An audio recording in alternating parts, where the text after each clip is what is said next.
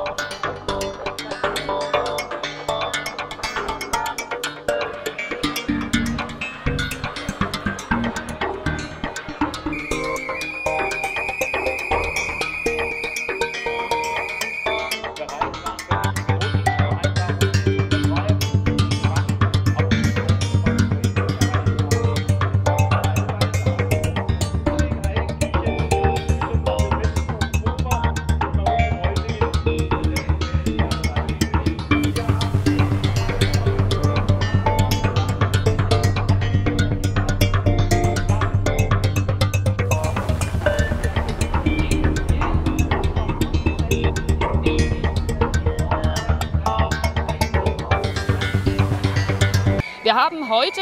fünf Kreisverbände der Region zum Streik aufgerufen, weil wir unter anderem Arbeit, der Arbeitgeberseite nochmal den, den Nachdruck verleihen möchten in der Öffentlichkeit, dass sie uns in der dritten Verhandlungsrunde am Mittwoch und Donnerstag ein besseres Angebot vorlegen. Wir fordern ja 7,5 Prozent mehr oder mindestens 200 Euro, um unter anderem die Berufe beim DRK auch wieder attraktiv gestalten zu können, damit die Fachkräfte auch sich für das DRK als Arbeitgeber mitentscheiden.